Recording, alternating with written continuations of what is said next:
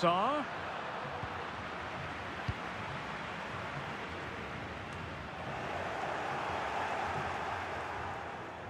Otavio.